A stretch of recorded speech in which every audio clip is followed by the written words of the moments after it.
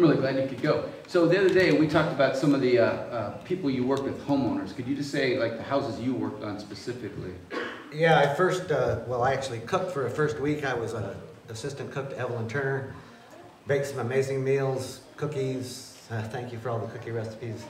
They enjoyed, they enjoyed them greatly. They really did. Um, then I went out on the project to work the remaining three weeks, and one of the first homes I went to was down in Boulder. Uh, guy named Mike and his family, he lived right in the town of Boulder. He had three feet of water into his basement for a month. He had three pumps working continuously to get the water out, but it destroyed his whole basement, drywall, insulation, his daughter's bedroom. And so I first learned uh, how to install insulation and drywall in that home, and then we went up into Jamestown to work on Mr. Rick's home. Uh, this gentleman was about ready to retire. He had almost had his house all paid off when the flood took his home out completely, washed his dog down the creek. He had to watch his dog get washed. Um, then after all that, his son died of cancer a few months after the flood. Um, Habitat for Humanity is doing most of the work on his home, and he's hopefully going to be able to move into that home around May 15th and get his life going again. Um, he's really devastated by it. I talked to him. A lot of people heard his story, and he's still emotional about it. Can't even get through the story without breaking down. And uh, he really needs to get back into his home. So, What, uh, what was the hardest task you had while you were there? digging ditches. No hesitation If either. anybody knows Colorado's ground, it's rocky and dry. A lot of rocks in that ground. It's not like Oregon soil. I don't know how they grow anything in that, that parched environment, but So th- th- Yeah. uh, this is the only Mennonite church you've been to. And then you go there, and you're with Mennonite disasters, and you got Mennonites from everywhere. So what, what did you learn about Mennonites that's maybe different or broader than your experience here? the Mennonites just have a lot of giving in their heart and they want to help folks, you know. Um, too many times we focus on our own difficulties and trials in life and don't think about other people. And it just uh, puts everything into perspective when you meet people and hear their stories of people who've lost their homes, some of their family members through this happening. Um, the town of Jamestown is a really small, tight-knit community of artists and musicians.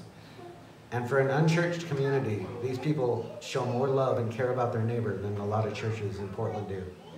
You know, and I think a lot of people in a lot of churches could learn a lot if they went up to Jamestown and see the strength of this community.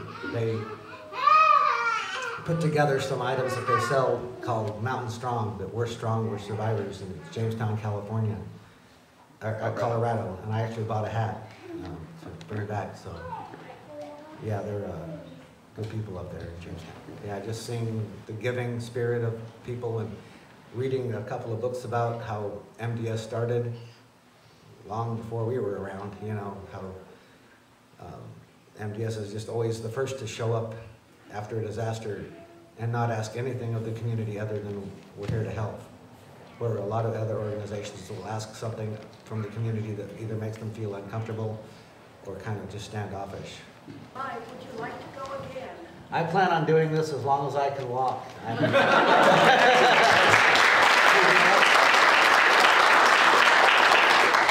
I have found a new direction and purpose in my life that I've never had before. Most times when I was homeless, I just focused on my own needs and self-interests and never thought that I would ever be called to do what Jesus asks all of us to do is to serve people, be God's hands and feet on earth.